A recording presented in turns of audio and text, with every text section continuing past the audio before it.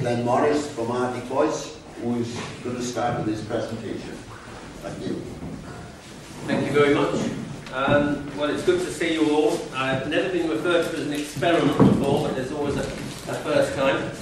Um, well, I, have been invited to talk to you. I hope, I hope that by talking to you, I will be able to uh, give you a little bit of uh, inkling as to what the Arctic is like as a place to visit, um, why I've become so concerned about it, and also take you through a bit of a journey through my first uh, forays into the Arctic and then where I am now with it and where mentally I think I stand on the whole issue of climate change and what's going on in the Arctic. Um, the Arctic uh, is, is, a, is a place that often, by some people, is mistaken with the Antarctic, but of course you all know the Arctic is up north. And unlike the Antarctic, uh, the Arctic is an inhabited place where uh, migrant hunter-gatherers moved from the Siberian areas east and colonised all, all of what is northern Canada now and the east and west coasts of Greenland. I've lived and spent time with the Arctic people, and the reason I think it's quite an interesting area to uh, study is that it is actually, not strictly, but probably one of the last vestiges of what you call a hunter-gatherer culture. So the people that live in the Arctic, although now they are very much, if you like, being engulfed by Western consumerism, there is still a huge part of it that is still hanging on to this hunter-gatherer culture. So they don't have the same concept of property ownership that we have. And their ways of living are also very, very different. I might elaborate on some of those at this time, but I'm conscious of the fact that when you're sitting down, there's nothing worse than having someone going on and on and on. So I'll try and be pretty brief in the way that I deal with things, but if, I'm sure Brian will allow questions at some point. The Arctic Voice Project, which is um, the thing that you heard Brian refer to, is an initiative that uh, I'm involved with, where we are basically carrying out a journey through the Arctic. It's through Canada's Northwest Passage. And what we're doing is we're linking up schools throughout the Arctic with schools in the UK. And our hope is, and by our, I mean there's actually uh, about five of us involved with this. Our hope is that by doing that, we will be, begin to get a kind of dialogue going, initially with young people, students in schools, both in the UK and the Arctic, that will extend into communities. And by doing this, we will help people to understand why our way of life in the so-called civilized West affects people in other parts of the world. That, that is our plan. Now, the journey is by kayak, uh, and it's arguably an environmentally friendly way of travelling through the Arctic. And when we meet the Arctic people, we often meet them in their settlements, having kayaked two or three hundred miles without seeing anyone else.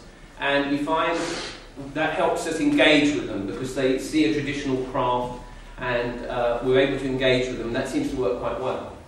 What I would say is, and, it's a, a, comment that I think would be justifiable, is, is people say to me, you know, well, why, why did you fly to these places and all that sort of thing? And that is a very valid comment. Um, but what I would say to that is I'm hoping, or initially I hope, that this project would be a success in terms of what it achieved and, and sort of I hesitate to use the word raising awareness because I really feel that if people aren't aware of what's going on at the moment, they must be absolutely balmy. But so I won't use that term again, but we were hoping that um, the value of the project would outweigh the act of flying to this, these places. I think one of the things I will um, talk about is uh, the beauty of the Arctic as well. I'm going to show you some slides that hopefully you will be able to see on the screen next to me here. These are uh, trips I have done to the Arctic. Even, each individual expedition to the Arctic has been arguably a kind of talk in its own right, but uh, I'll just show you one or two images from each of those, and I'm hoping that you'll think you'll kind of have an understanding of why the place to me is so beautiful. Um, what I'd like to do is initially talk a little bit about how I feel about what's going on in the Arctic before going into the, um, the slides. One of the uh, things that's occurred to me is that it seems to me to be a kind of a microcosm for what's going on in the west of the rest of the world. Because the kind of movement and transition between hunter-gatherer and what we see now has happened very, very quickly indeed. It's literally over the last generation or two. And that is actually quite an astounding change in a very short space of time. And now you may wonder what this poem's got to do with it, but I think by the end of the talk I'm hoping you all, you all understand a little more about that. This is a, a little poem called Timeless Simplicity by John Lane. The industrialist was horrified to find the fisherman lying beside his boat smoking his pipe. Why aren't you fishing? said the industrialist. Because I've caught enough fish for the day. Well, why didn't you catch more? Well, what would I do with them? Well, you could earn more money. Then you could have a motor fixed to your boat and go into deeper waters and catch more fish.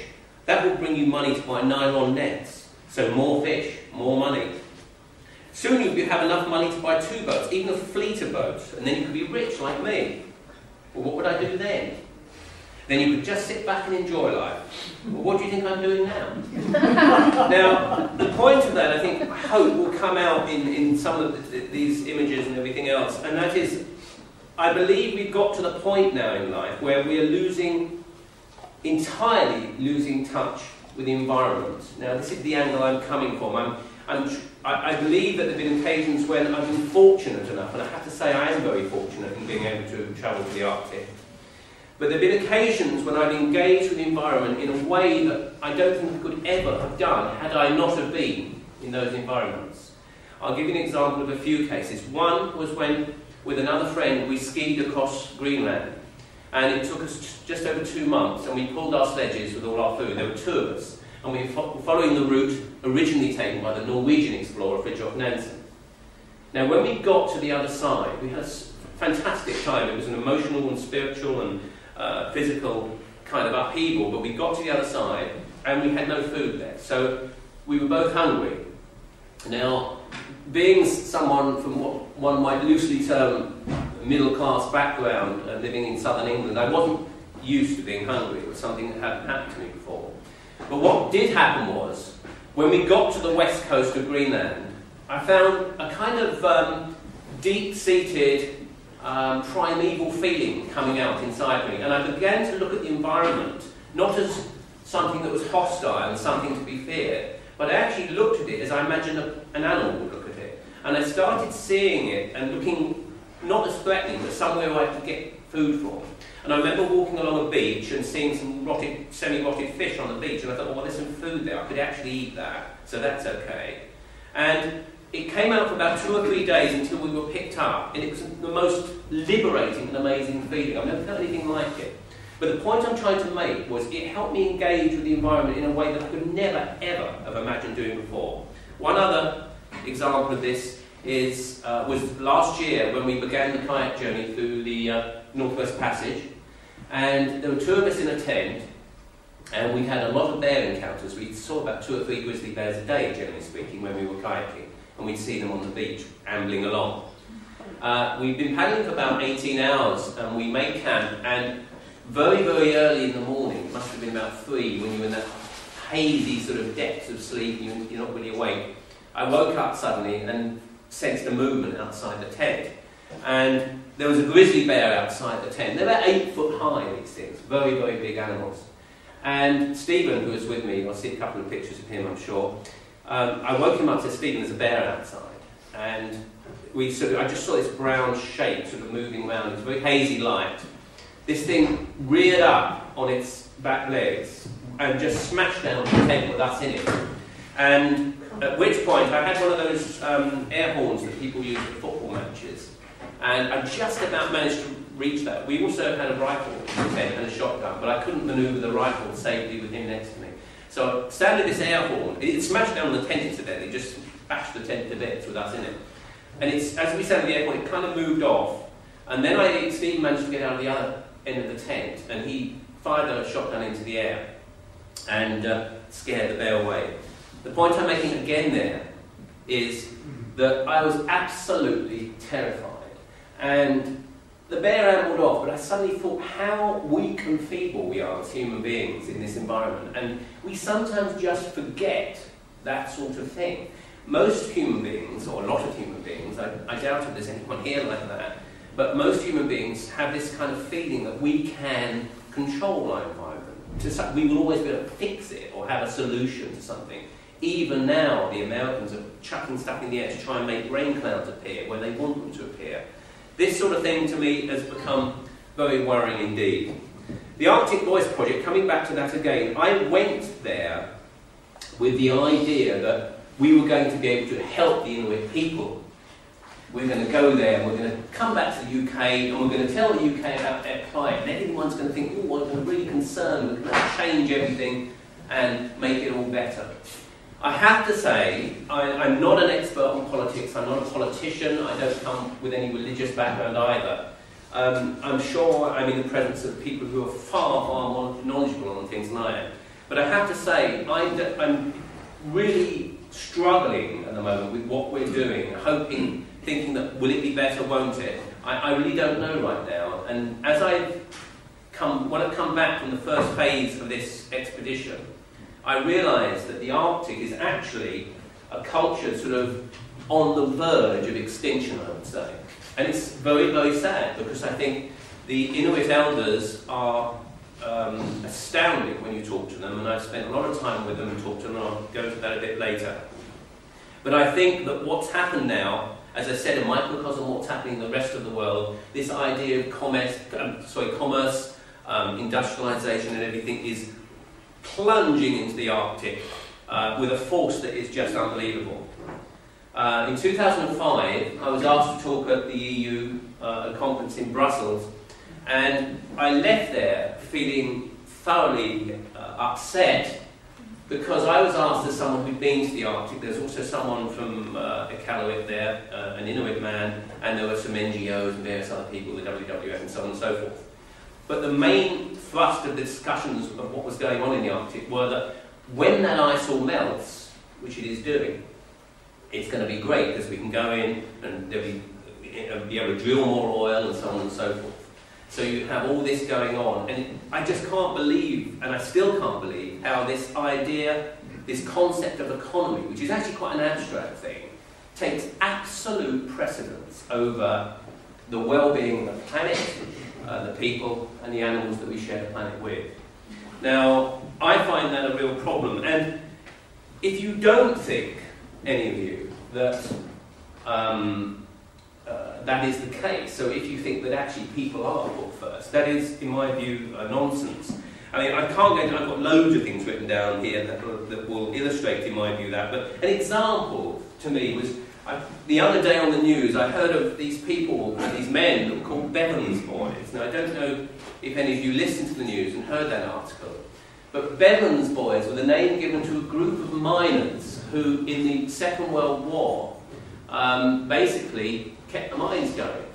Now, these men had to crawl about one and a half miles down the, these mine shafts and get to the mine face, the coal face, by six in the morning and spend their entire day bashing away at the coal. Now, they only just a week or two ago been recognised for that effort. So a mile and a half. And they, we listen to these old guys talking, and they go, oh, it's, well, we did what we should, and it was great fun, and you know, it was good camaraderie. Yeah, I'm sure it was. And they said breathing in all this coal dust and everything else. Do you know what they got for that? They got recognition. Two or three minute thing on the news. They got a badge. That is all they got for that. Now, this illustrates to me, in a slightly humorous way, that actually people aren't cared about. And I think the idea that you know, we can trust governments of the world, not just the UK, to care about people is erroneous. I don't think we can. Another example of how governments view nature was illustrated to me when I heard Andrew Mitchell talking on Radio 4. And he was saying, illustrated again, very simply, one simple sentence. He, incidentally, is the uh, director and founder of the Canopy um, organisation in the world that deals with forests in the world, and he also deals with the Amazon rainforest. He said, The Amazon rainforest is worth more cut down than his standing up. And that very succinctly, I think, illustrates the sort of the awful situation we're in. Anyway, I'm going to show you a few slides, um, but before I do, I think there's still lots more I'd like to tell you, but I'm very conscious of the time. I, it's awful when people go on and on and on. And last night I gave a talk, and I did feel myself going on a bit. And I almost felt that the people at the end of it wanted to ring the Samaritans. It was really. So I'm going to avoid that too much stuff. I mean, I'm conscious of talking to people here that I suspect are damn sight more intelligent than I am. I'm just going to. This magazine is interesting. I don't know if you've ever read or subscribed to this. Now, it's a very interesting one to me, and I've come to it recently. Now, I'm not saying for one minute go out and subscribe to it, but I am saying the articles in here are astoundingly interesting, and they really seem to get 99% of stuff right, but they miss the key thing. And I wonder if I could possibly even um, illustrate that by uh, um, reading you a little bit. One is, in, on this one, which is the March one, um, you've got an example. This is why I think our system is wrong. I'll get onto that later, I'm sure everyone else here will be able to talk to that better than me. There's an article in here that talks about Whole Foods, and there's a company that's called the Whole Foods Market. There's some great things in here, actually, really, really, really good. And basically, there's this huge company called Whole Foods Market, and they became famous for their um, you know, supermarkets selling whole foods. But it says in here, and I'll quote straight out of here, it says, um, they're talking about the company and the introduction of whole foods into supermarkets. Their use means most farms have to be able to supply large volumes of produce in order to be economically attractive to Whole Foods market. Small local, local farms are squeezed out as the company sacrifices ecological sustainability for artificially low prices and the convenience of the large producers. Cementing these distribution centres into its way of doing business, Whole Foods Market has recently instigated its local producer loan programme. Through this, small farms can take out a loan from the company in order to expand to the point where they are able to produce enough volume to be accepted as a supplier. As the loans are charged up to 9% per annum, they net the company a tidy profit while actively undermining the small local farms it claims to champion. What that illustrates to me is really, no matter what you're trying to sell, it, you end up going the same way in the end. This company set out to sell nice muesli and, you know, bio-friendly packages and everything else, but they've gone the same route as everyone else. And my feeling is that you actually can't avoid that. And this is, I think, the problem I'm finding. For my sins, I'm a tree surgeon. That's what I do for a living. So for some time now, I've had a, a, a small company, and this is this has put me in a position, actually, where I am fortunate enough on occasions to have gone to the Arctic. But people say to me, oh, that must be fantastic working with trees. It must be really lovely, you know, work planting trees and climbing around in trees, and, and that's what I do. But actually, you, you cannot get off this kind of treadmill that means you cannot be sustainable, if you like, and all this environmentally friendly stuff. You can't. You just cannot. The reason you can't is this. If I go up to Mrs. Jones and I say to her, well, Mrs. Jones, it's going to cost you £260 to prune your oak tree. Firstly, that oak tree probably doesn't need pruning anyway. 99% of the work I do with trees is absolutely unnecessary as far as the tree goes. I must tell you that. Trees get on fine as they are. It's nearly always what the person wants. So what I tend to get when I look at tree work is Oh, can I do so that it's sycamore, it's dripping stuff all over my car. I get that sort of thing a lot. you know, or I get a bird's always cracking on my car, I can't, you know, and all that. You get loads and loads of that. Sometimes you get stuff that's quite nice that I used to be able to enjoy a view over there and I can't see it anymore. That's another reason you might prune a tree. Or you'll get a big dead tree next to a motorway, so, so all those cars will keep going backwards and forwards, you've got to take the dead tree down. But 99% of the time, it's a complete waste of time. But coming back to what the point I was making, and that is that to do that job in a way that is environmentally friendly, we would have to climb those trees with hemp ropes. That's no problem, we can still do that. We'd have to use hand saws, take our time over the job. We couldn't think of in terms of time, which I have to now. We leave the cuttings perhaps in a heap on the ground so they rotted quietly away. None of that goes on. We use massive wood chippers, 16,000 quid each, huge lorries to transport this stuff up and down the roads because no one wants it anymore. They just want to see the back of it all. And basically, no matter how hard we try, we can't be sustainable.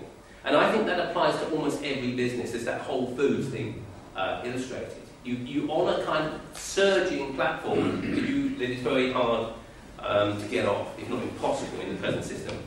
One more thing I would say um, on the subject of trees, which is interesting, is a little, a little story I'll tell you.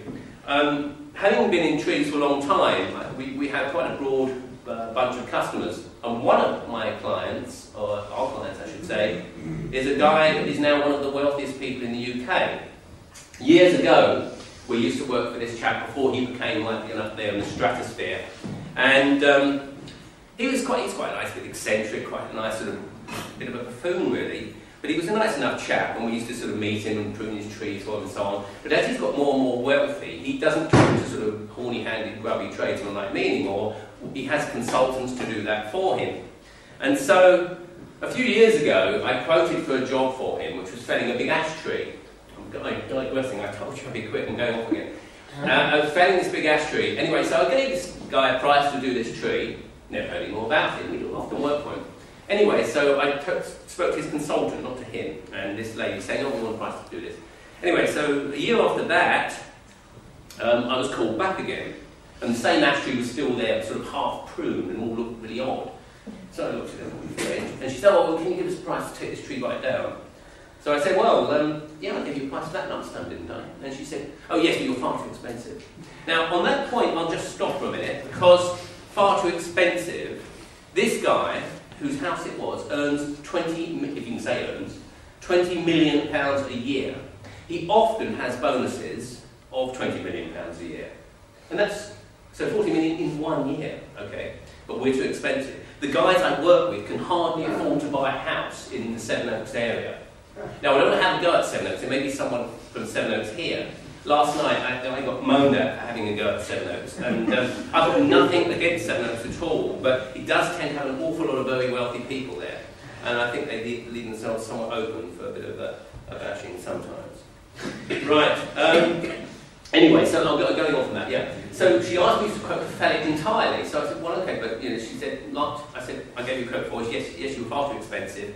So we need another quote. So I said, why did the guys that started? And she said, oh, well, they were, they were operating dangerously and one of them had an accident and so on and so forth.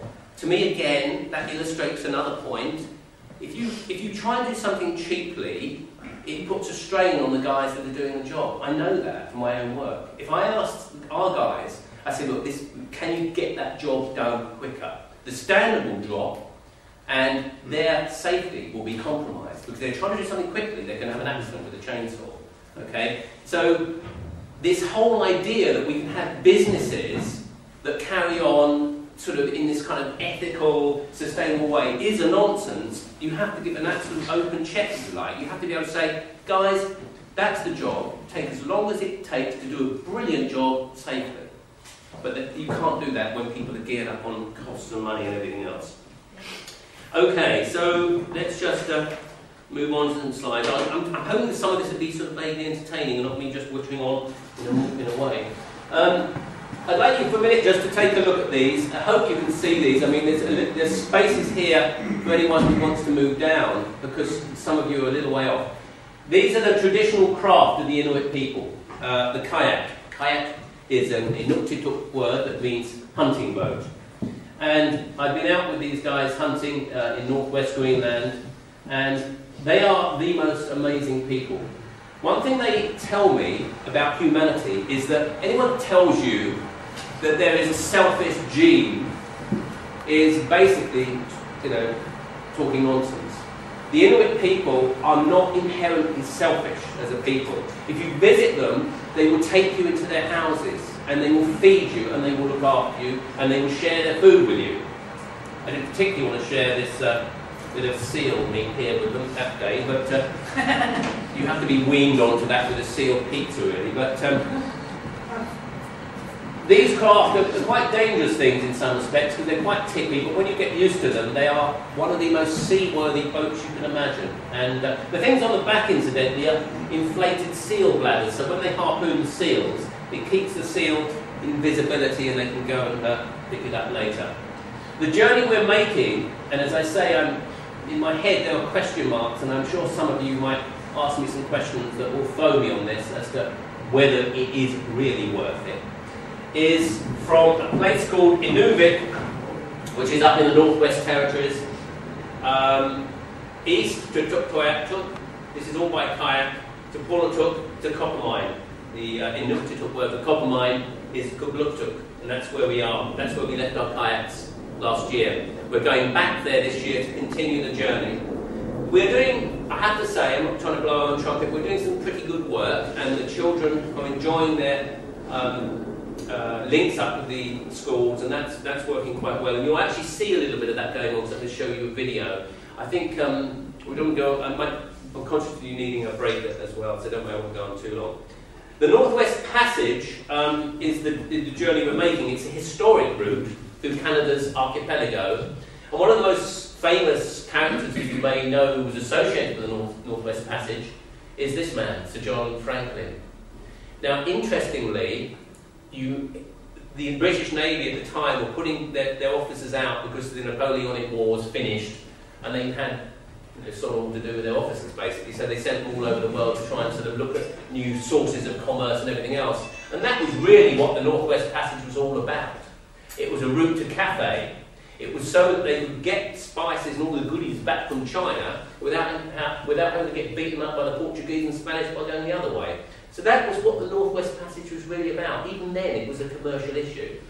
Now, frighteningly, in well, 2007 was the first year ever that the Northwest Passage has been ice-free.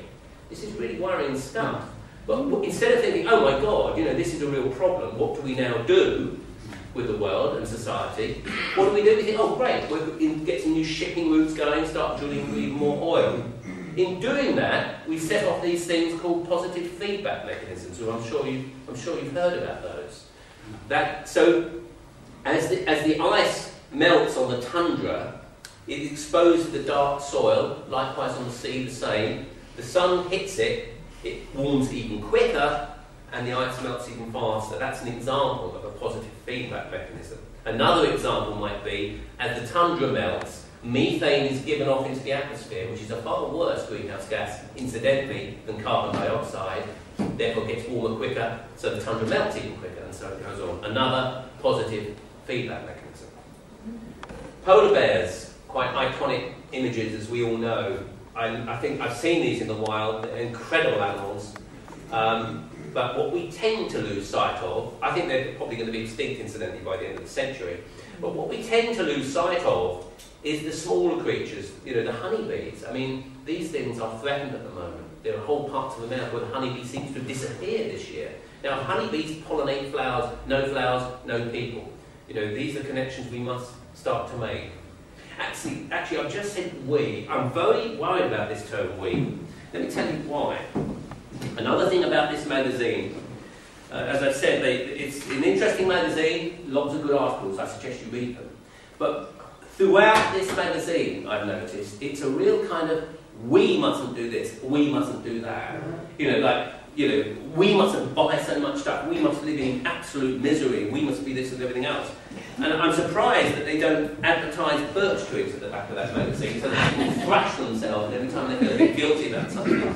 This we thing bothers me because I read recently, and I think it was, it was may well have been one of an article written by someone here, that the world's, I think it was 220, forgive me if I'm wrong, something like that, the world's 220 wealthiest people who could easily fit in this room, as I understand it, if they gave just 4% of their worldly belongings, their wealth if you like, they could feed, house and provide medical care for the population of the entire world for a year. Which basically says, taking a little bit further, for a quarter of a century, just 200 people, in other words, and people that could fit in this room, could provide all that stuff for the entire world's population for a quarter of a century. So, um, it speaks for itself, really. I didn't tell you much about another picture, but uh, I suppose the picture you just saw was um, a picture of the, you know, the pile of polar bears with the explorer on the top. I don't know how to reverse this, and I'm not going to now. But it's a kind of sign of this sort of very selfish stuff that's sort of crept into society now, where people go and do these huge things for their own egos. They think nothing about sort of flying into the Arctic to climb a mountain and say how wonderful they are. I have to say I'm guilty of that, and you'll see some, some pictures um, early on. But I mean, last year, in September, September 23rd last year, the first man to climb Everest and stand on summit, summit of Everest naked happened. And then you do wonder where this is all going to go. And I, I tend to have a bit of a pop occasionally with these so-called explorers because there aren't any explorers anymore. You know, we all know where everything is. I mean, the Canadians look at the, the, the Brits and think we're balmy going out to some of these places, you know, trying to do all this stuff. Some of the things I do uh, involve talking to schools. And I often talk to primary schools and I talk to them about the Arctic and so on and so forth. And one of the pictures I show them is this. And I say, put your hand up if you can tell me what this is. And it rather stays like that. No one puts their hand up. Now, when I was a little boy, um, too long ago now, unfortunately, but I remember having my little jam jar with a bit of string on it, and I remember wandering down to ponds and over streams, and I knew what this was, as indeed did every single other child in my school. They all knew what it was. It's another example, I think. It tells you two things. It tells you that here is a small animal that is actually threatened, a threatened species, and it also tells you that we don't really, or young people don't engage with the environment in the way that perhaps they used to, and I think that's quite sad. Um, you know, most young people, um, you know, and I'm not going to go young people here because the whole ether, the whole drive of what the Arctic Voice thing about is because I'm so worried about young people. I mean, I wake up every day terrified about my daughter's future. And these things concern me immensely. But it is a shame when, you know, engaging with the outside world happens through a screen now. You know, everyone's sort of staring at screens.